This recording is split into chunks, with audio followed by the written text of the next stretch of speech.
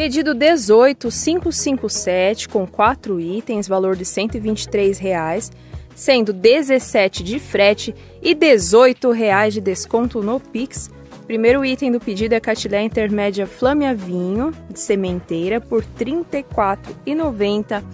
Últimas unidades da catilé, catilé intermédia Flâmia Vinho, tá gente? TO 315, o código dela. Estava com flores lindíssimas, ficou bastante tempo aberta, mas agora já passou a floração, tá, gente? Temos ainda mais uns três ou quatro vasos só, final de lote. Aproveitem porque o preço tá interessante.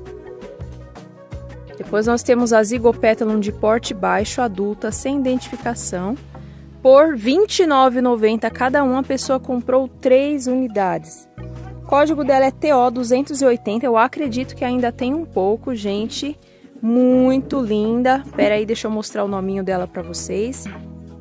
Gente, são extremamente perfumadas. É a TO 280. Olha essa flor, gente, muito linda. Por apenas R$ 29,90 cada um. Mas, nossa, tem um cheiro, um perfume masculino muito bom. Maravilhosa. E a cor também é muito interessante, né, gente?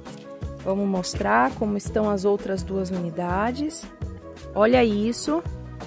Maravilhosa. Olha esse labelo, gente, que incrível, enorme. Eu não sei se a câmera consegue pegar, mas o miolo é roxo, embaixo é vinho com branco, em volta é marrom e tem as pontinhas verdes. Gente, maravilhosa, bem enraizada. E olha a terceira. Uma ou outra saiu diferente porque é de sementeira, mas as diferenças são leves, tá, gente? É mais de cor. A forma é sempre essa, muito bem espalmada, flor aberta, grande, né? Muito bonita mesmo.